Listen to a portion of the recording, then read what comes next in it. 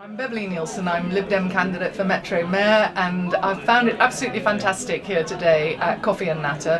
What a great group of people, so many thoughts, so many hints for one's business, so much advice, so much enthusiasm, a really great book review, a fantastic talk on the good and the bad about PR from an expert lawyer who also happens to be a comedian, what a fantastic combination. So all in all I've had an amazing time here and I've been really pleased to also be able to introduce myself to so many people. So I couldn't recommend it highly enough. It's a fantastic networking opportunity and the fact that there are meetings regularly held across the city I think is a, a must go to event for everybody interested in business and networking.